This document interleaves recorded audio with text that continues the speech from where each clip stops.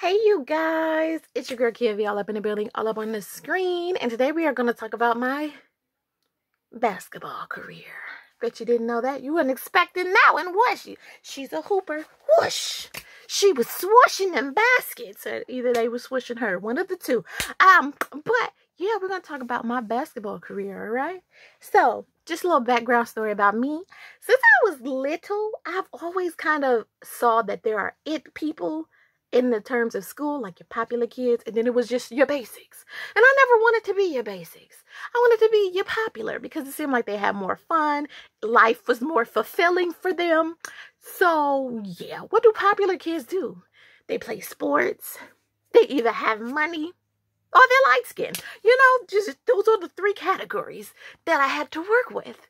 I, I can't, I'm, I'm not light skinned. I'm a beautiful brown bear. Okay, beautiful brown bear um, money wise, I don't know what we had. All I know is that my parents weren't buying me stupid stuff for no reason, just to show off. Okay, they weren't doing that. They they grounded us as kids, and I love them for that. Appreciate it greatly because we did not need half of the stuff these people was getting and getting themselves in trouble with. So didn't have that. So the only thing I could do was try to create some athletic bones in these bodies.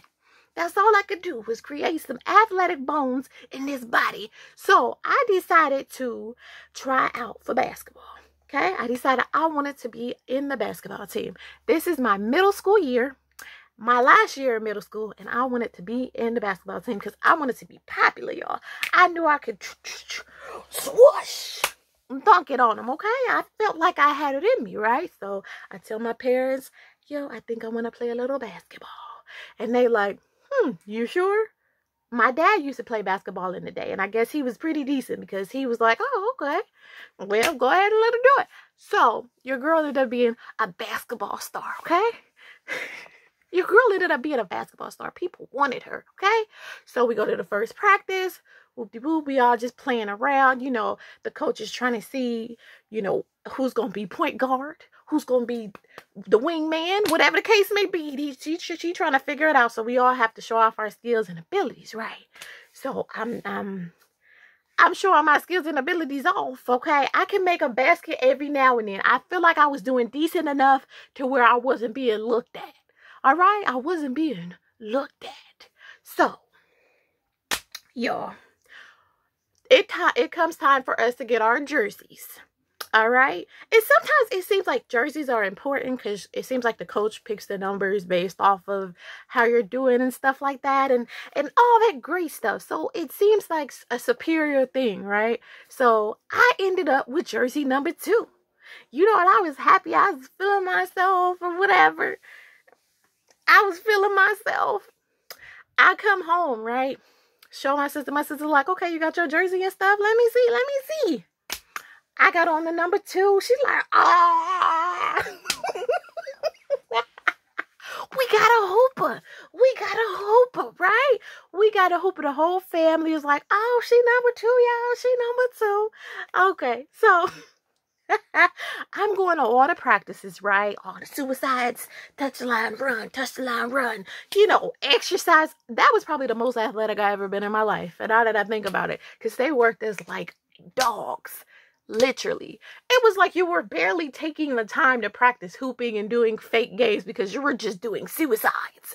By suicides, that means you're running on the court, you're touching each line and running back, touching the next line, running back, touching the next line. Yeah, it was like, it can get intense. So, we come to the first game, right? We come to the first real game. And I'm all suited booty, got my jersey on. We looking at the other team. Like, you don't want this. You don't want this. Okay, we got the superstars of the team ready to go. The superstars I know that's on the team that's ready to go.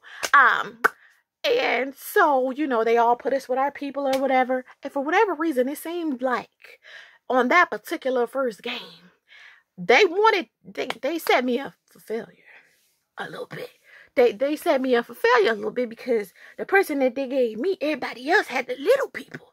they had the tiny folks. They was the ones that was 150 pounds and the person was 80 that they was guarding and blocking, right? But me, they gave me the biggest bully that they could find on the team and was like, yo, I need you to guard her. So you know me. Miss WNBA coming in, ready, ready. I'm like, okay, so we about to get this thing, this thing together. And y'all, when I say as soon as the game started, I didn't know if I was going left or right.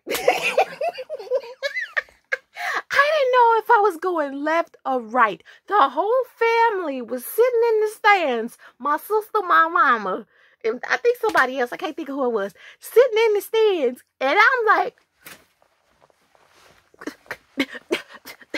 malfunctioning over here on the gym floor.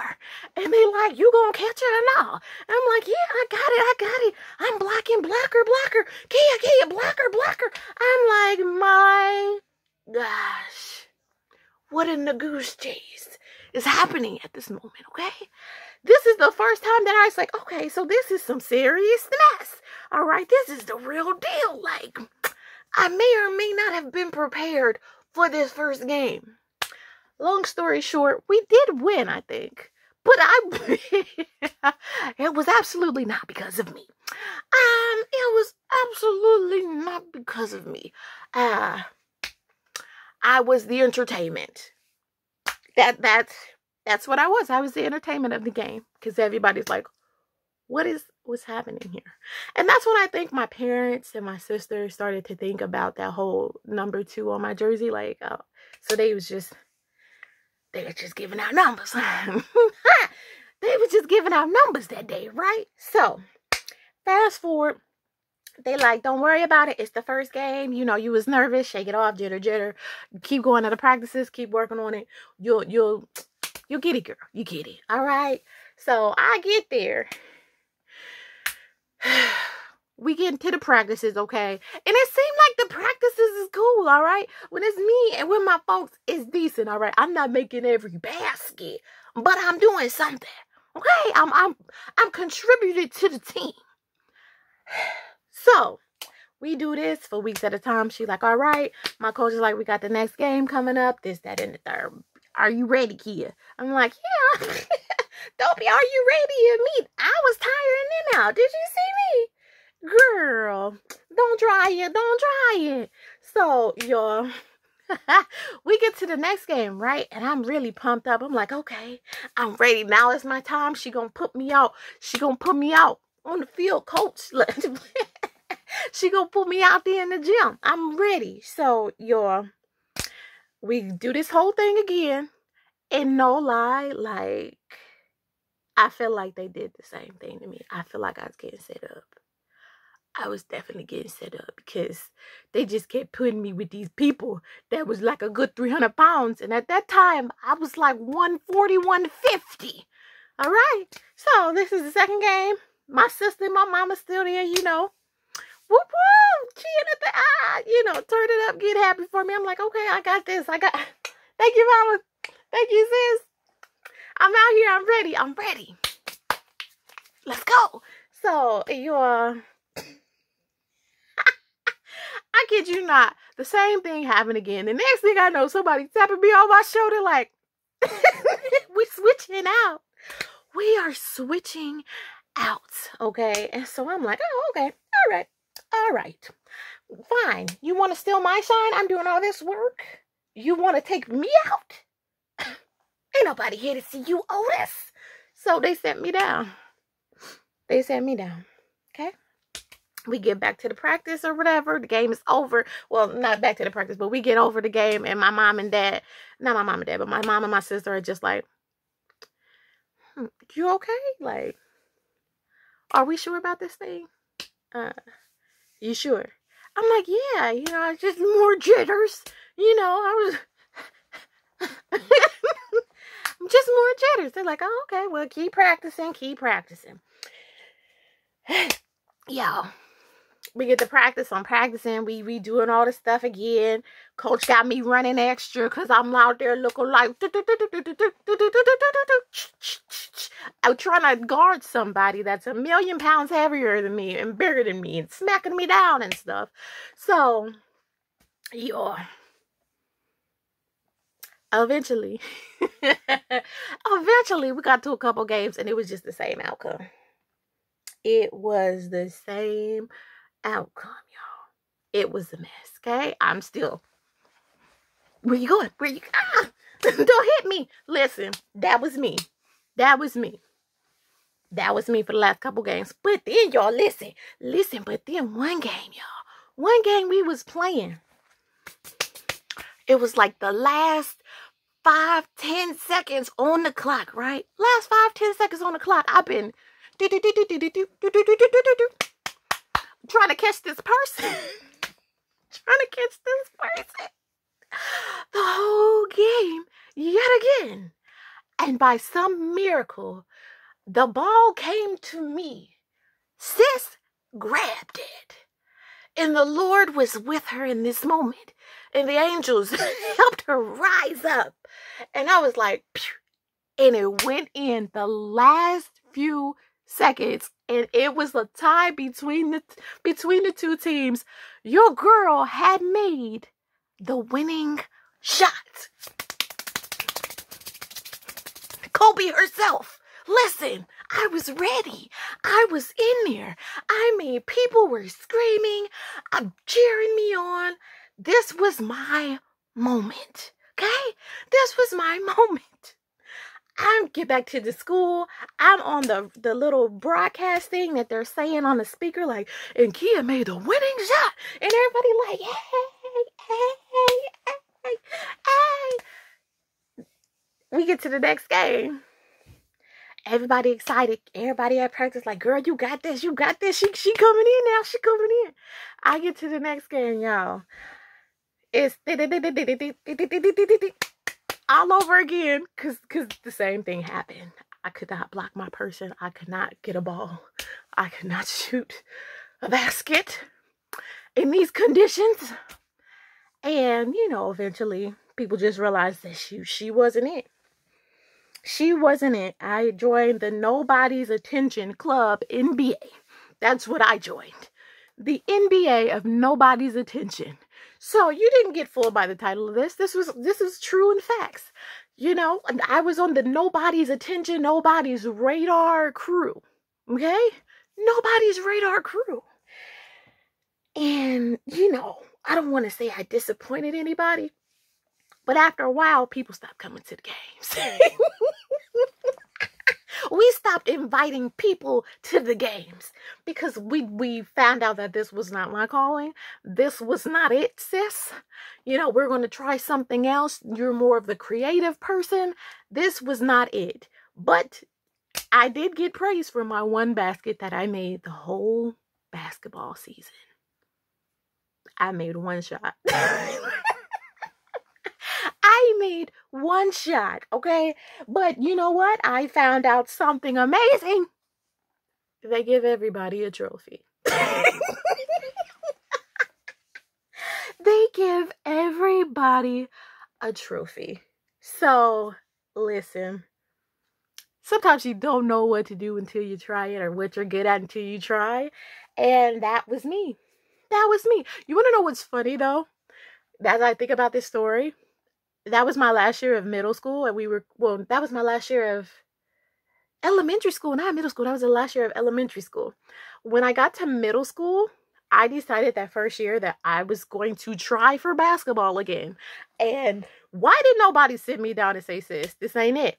This ain't it Nobody set me down. Everybody's just like, okay, y'all, I got to the second day of tryouts, and middle school basketball is a little more intense because that's when they start giving you the gaming shoes and stuff, and you get the real good fits. Y'all, I went to I want to say not even two practices. I went to one tryout practice. They had me in the circle. We was doing the hand-eye coordination. And I was like catching and catching and catching and catching and catching and throwing and throwing and catching and catching and throwing and throwing. I was getting it, y'all. I was getting it. And then something happened and I missed my step and the ball was just like, and everybody else's was like, boom, boom, boom. Y'all. And people thought it was funny. They were rolling. And I was like, you know what's rolling? You know what's funny? I quit and I left and I never went back. And it was crazy because the whole summer, well, not the whole summer, but part of the summer, my dad was trying to work with me. So I did make some great memories with that because my dad really was trying to work with me. We went to my old elementary school and everything. We were just playing ball for a couple, like an hour. And we were talking about it. He was like, just be persistent, this, that, and the third. Like, oh, I tried. But you know, sometimes you should tell your kids that maybe this ain't it. Because that was definitely not it. And now they laugh about it because they like, they know. They're like, girl, we just, we wanted you to learn something. And we wanted you to have the experiences. Okay? But in real life, yo, I was number two weird. They should have had zero on that thing. Because that's how many buckets I was making. Zero. I could block knee person, not knee person.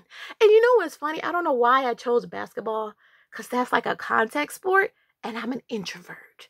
I'm I'm the soft one to some degree. I don't I'm not confrontational. So all this bumping and trying to hold you back and stuff, like I ain't got it in me. Well, back then I did. Now I'm drop me in the streets. Drop me in the streets. But yeah. But just remember, y'all, if you want a trophy to have forever, go ahead and and participate in things. Did I become popular? I mean, I guess to some degree, I just wasn't like the, the people that they was going to for popularity. But people knew who I was. And I got praise, so it is what it is. And I got a trophy forever. Will I tell my kids this this story? Absolutely not. They'll just see mom's trophy and they'll be like, she's a runner, she's a track star. Not your place. well, that's the end of this story time. I hope you enjoyed it. Don't forget to like, comment, and subscribe. And yeah, I got recruited for the Nobody's Attention crew. That was my NBA experience. Pretty great. I'll see you later. Bye.